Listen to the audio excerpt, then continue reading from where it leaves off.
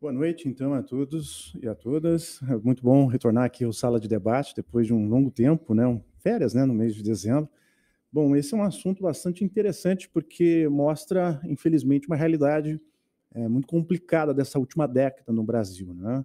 É, voltamos no mapa da fome, é, até também tivemos um número ontem estarrecedor, praticamente quase 60% da população brasileira passa por uma insegurança alimentar, nível é, médio e grande. Tem esse número também espantoso em relação ao endividamento das famílias, que também aumentou muito nesses, nesses últimos anos. Então, é um quadro social brasileiro extremamente caótico. E, é claro, o novo governo está diante desse, desse, desse novo desafio, né?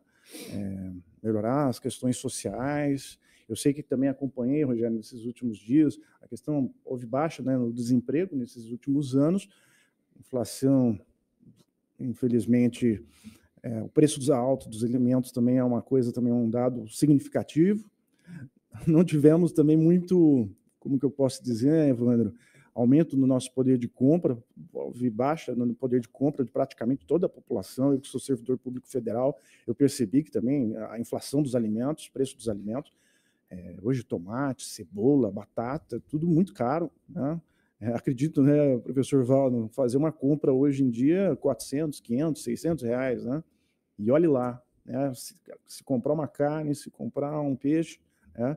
Então, tivemos um impacto muito significativo do ponto de vista social e nesses últimos anos. que existe, né, professor? Que não, é. é. não é a inflação a gente percebe nesse caso esse endividamento como um ponto negativo ou como um indicativo de que talvez retorne dinheiro para a economia? Não, extremamente negativo, né? Porque vem aliado à questão daquele dado que eu acho que é importante também relacionar, é, porque é um cobertor curto, né?